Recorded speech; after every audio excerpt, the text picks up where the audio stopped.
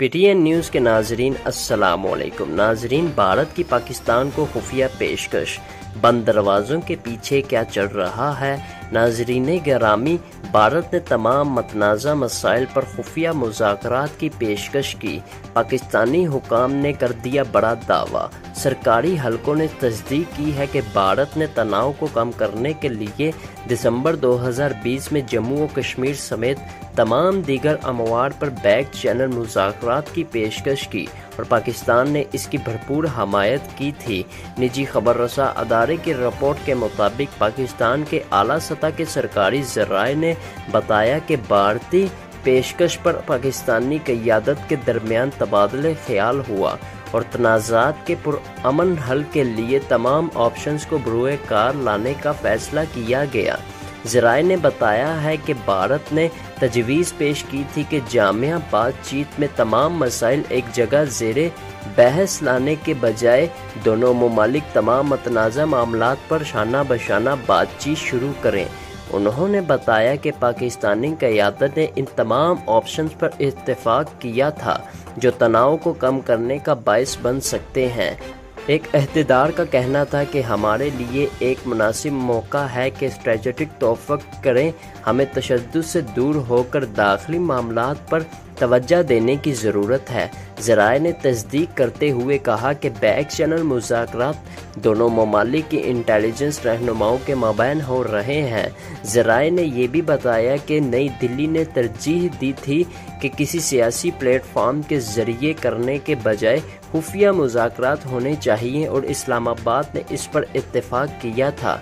अहदेदार ने बताया कि इब्तदाई मरहले में पाकिस्तान की बुनियादी दिलचस्पी ये है कि मकबूज कश्मीर की अपनी रियासती हैसियत पर वापस आ जाए और भारत मतनाज़ा इलाका में आबादियाती तब्दीलियों को न लाने पर मुतफिक है। दोनों हुकूमतों ने अभी इस इकदाम में किसी तीसरी पार्टी को शामिल न करने पर इतफाक़ किया है। अहदेदारों का मौक़ है कि भारत मसला कश्मीर के हल के लिए पाकिस्तान और भारत दोनों बरह रास्त और बिलावास्ता पॉलिसियाँ अपनाई और नाकाम हुए हैं। एक सवाल के जवाब में अहदेदार ने बताया कि बातचीत का रास्ता कदरे पचीदा होगा, लेकिन अगर हम इस पर कायम रहे तो हम अपने मकासद तक पहुँच सकते हैं। बैकडोर डिप्लोमेसी की बातचीत को इस वक्त धचका लगा जब वफाकी काबीना की इकतदी रबता कमेटी ईसीसी ने भारत से चीनी और गंदम की दरामद का ऐलान किया, लेकिन काबीना ने फैसले की मंजूरी नहीं दी। वज़ीर खारजा शाह महमूद कुरैशी समेत चंद वज्रा आज़म ने इस इकदाम की मुखालफत की थी।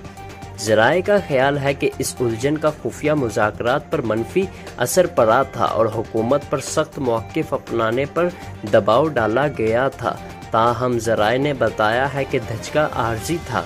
नई मालूम से पता चलता है कि पाकिस्तान और भारत के माबैन इब्तदाई बैक चैनल रबते 2017 में हुए थे। जराए के मुताबिक मुतल सीनियर भारतीय अहदेदारों ने बातचीत शुरू करने के लिए पाकिस्तानी इंटेलिजेंस और फौजी क्यादत को एक खुफिया पैगाम भिजवाया था।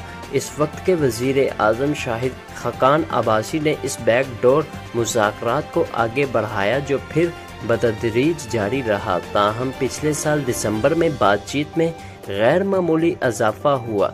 इसके बाद से अतमाद साजी के मतद इकदाम हो चुके हैं, जिसमें line of control L O C पर जंगबंदी मुआदा भी शामिल है। रिपोर्ट के मुताबिक कहा जाता है कि पाकिस्तानी सिविल और फौजी क्यादत भारत के साथ मुजाकर के मामले में एक ही पेज पर हैं। माजी में फौज की भारत के साथ पॉलिसियों पर मुंतखब क्यादत से इख्तलाफ राय था।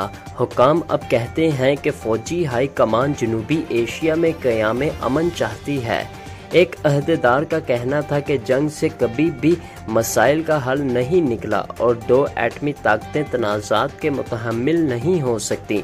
इनका मौक़ है कि फ़ौजी क़्यादत अमन की राह में रुकावट नहीं होगी, क्योंकि अब जंग ऑप्शन नहीं है।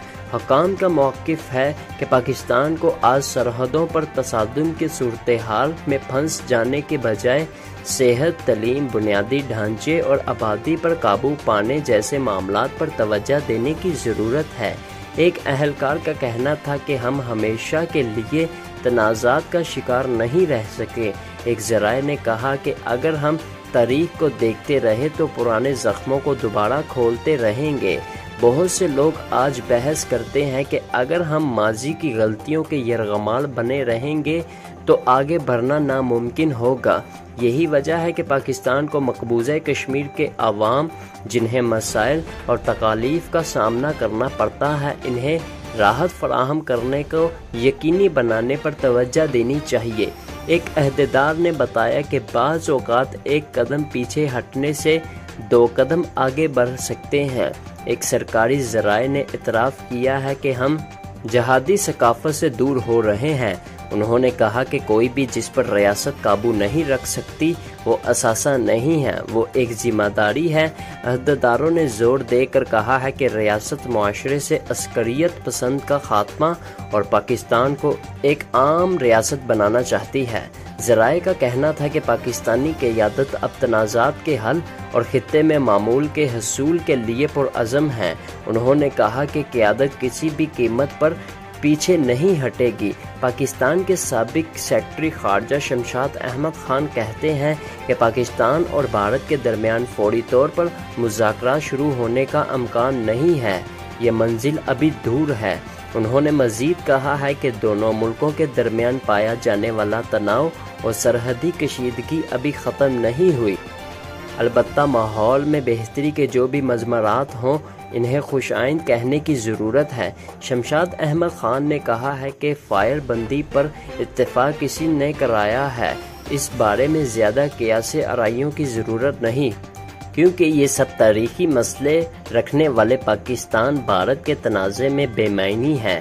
वो कहते हैं कि दुनिया को पाकिस्तान और भारत के मसाइल की संगीनी का अंदाज़ा है, जो कि न सिर्फ़ दो तरफा पल के पूरे खत्े के अमन के लिए ख़तरा है। उनके बकौल पाकिस्तान और भारत के दरमियान बुनियादी मसला कश्मीर है।